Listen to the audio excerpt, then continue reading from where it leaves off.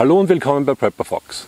In den letzten beiden Jahren habe ich sehr viel Survival-Ausrüstung gekauft, hauptsächlich für den Fluchtrucksack.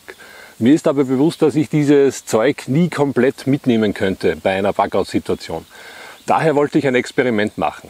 Ich bin heute um 4.30 Uhr aufgestanden und musste aus meiner Survival-Ausrüstung zehn Dinge auswählen, die ich mitnehme, habe diese dann schnell eingepackt und bin eine Stunde auf den Berg gegangen. Wenn ihr wissen wollt, was ich jetzt alles dabei habe, dann geht's weiter nach dem Intro.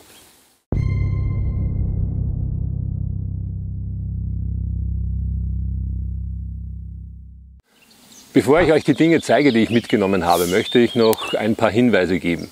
Der erste Hinweis ist, dass die ausgesuchten Dinge nur meiner persönlichen Vorstellung entsprechen. Also das heißt nicht, dass das für euch genau gleich gilt und ich euch sage, ihr müsst unbedingt diese Dinge mitnehmen, sondern das muss jeder für sich selbst entscheiden. Ich möchte euch nur zeigen, was ich heute Morgen in kurzer Zeit zusammengesucht habe. Der zweite Hinweis ist, ich habe auf die Kleidung in dem Sinn keine Rücksicht genommen, weil in einer realen Bug-out oder Survival-Situation weiß ich ja, was draußen für Verhältnisse sind und gehe davon aus, dass man hier entsprechend richtige Kleidung auswählt, bevor man flüchtet. Der dritte Hinweis ist dann, dass ich die Dinge so ausgesucht habe, dass ich nur eine kurze Zeit in der Natur überleben könnte. Fangen wir gleich mit dem ersten Ausrüstungsgegenstand an und das ist ganz banal ein Rucksack. Wenn ihr flüchtet und ihr möchtet eine gewisse Anzahl von Dingen mitnehmen, dann braucht ihr irgendetwas, um diese Sachen zu transportieren. Ich glaube nicht, dass es mit der normalen Kleidung möglich ist, relativ viel mitzunehmen. Also ist die einzige Option hier eine Tasche. Und ich glaube, dass es in einer realen Fluchtsituation keine Rolle spielt, ob das ein 20-Euro-Rucksack vom Discounter ist oder irgendein Tasmanian Tiger oder sonst irgendetwas. Ihr werdet einfach froh sein, irgendein Behältnis zu haben, um eure Sachen mitnehmen zu können. Als zweiten Ausrüstungsgegenstand habe ich ein Zelt gewählt. Dafür gibt es mehrere Gründe. Ein Zelt ist relativ schnell aufgebaut. Es bietet mir Schutz gegen Regen, Schnee und auch, das klingt jetzt banal, Mücken und andere Krabbler.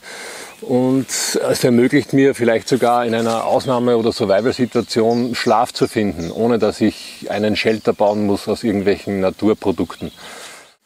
Der dritte Ausrüstungsgegenstand ist für mich eines der wichtigsten Gegenstände bei einer Fluchtsituation oder auch beim Survival. Das ist ein Erste-Hilfe-Set.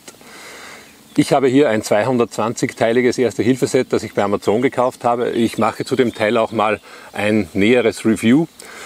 Und so etwas kommt für mich unbedingt in den Fluchtrucksack. Da ist mir komplett egal, was ich sonst noch mit habe, aber das Teil wird definitiv nicht fehlen. Nicht nur um mir selbst helfen zu können, sondern auch um anderen Menschen helfen zu können. Beim vierten Ausrüstungsgegenstand geht es um Wasser und zwar um eine Feldflasche. Ich würde diese Feldflasche bei einer Flucht auch versuchen noch zu füllen, damit ich schon eine gewisse Menge Trinkwasser auch bei mir habe, ohne irgendwo eine Wasserquelle suchen zu müssen.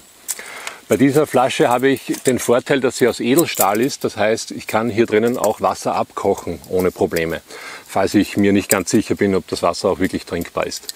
Der nächste Vorteil ist, ich habe auch äh, gleich einen Becher dabei, um Wasser eben zu trinken oder einen Tee zu machen, beziehungsweise auch darin zu kochen. Beim fünften Ausrüstungsgegenstand geht es auch um Wasser und zwar um das Filtern von Wasser. Wenn ich in der Natur irgendwo Wasserquellen finde, denen ich nicht ganz vertraue, gibt es die Möglichkeit über diese Filter, also Live Straw oder Sawyer Mini Wasserfilter, dieses Wasser dann trotzdem zu trinken ohne größeren Aufwand. Und man erspart sich hier viel Ärger, weil wenn man Durchfall bekommt von irgendeiner dubiosen Wasserquelle, wird das Survival oder das Verweilen in der Natur wahrscheinlich sehr anstrengend werden. Beim fünften Ausrüstungsgegenstand geht es um Feuer. Ich würde das Ganze zusammenfassen und einfach Feuerkit nennen. Ich habe jetzt ein Big Feuerzeug dabei, weil das immer noch der einfachste Weg ist, ein Feuer zu machen bei trockenen Verhältnissen. Zusätzlich habe ich dann noch einen Feuerstahl mit. Dieser ist bei mir in einem Gehäuse drinnen. Das heißt auch vor Feuchtigkeit geschützt, wobei dieser auch funktioniert, wenn er nass ist. Und was mir auch ganz wichtig war, ist, dass ich eine lange Kette habe, dass das Ganze auch gut funktioniert.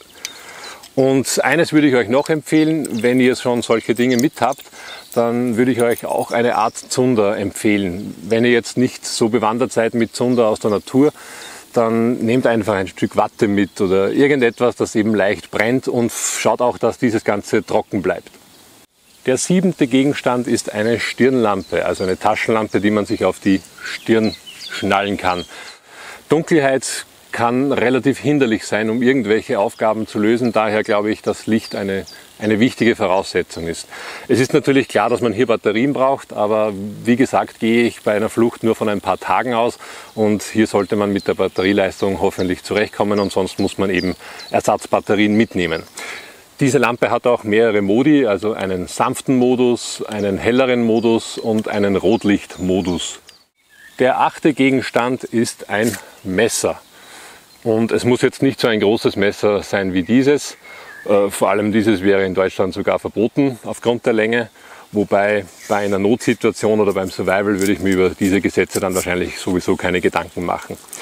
Ein Messer würde ich auf jeden Fall empfehlen. Also das ist ein unabkömmliches Ding in einer Survival-Situation, weil es multifunktionell ist. Man kann es zum Schutz verwenden.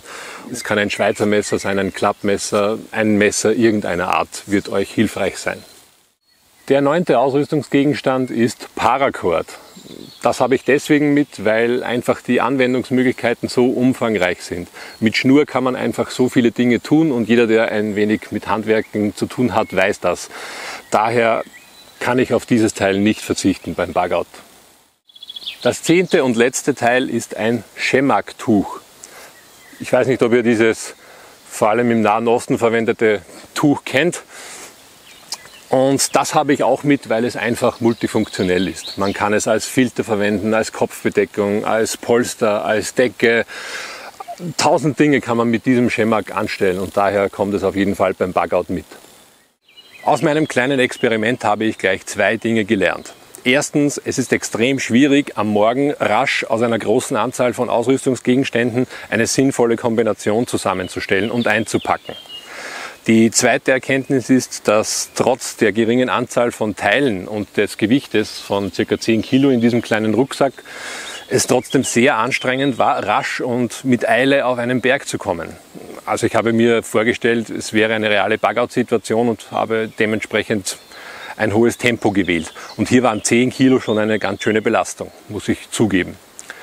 Daher fühle ich mich auch bestätigt, dass mein Fluchtrucksack auf keinen Fall schwerer als 15 Kilo sein darf. Und so werde ich das auch umsetzen.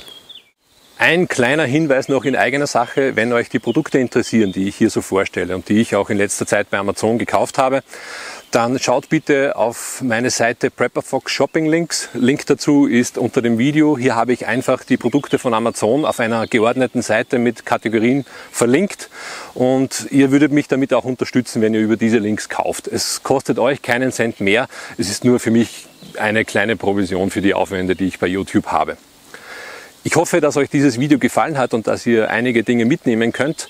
Wenn ja, dann lasst mir bitte einen Daumen nach oben hier. Wenn ihr mehr sehen wollt von mir, würde ich mich total über ein Abo freuen. Und wenn ihr einen Kommentar habt, dann hinterlasst ihn bitte unter dem Video. Das war's für heute. Euer Prepper Fox.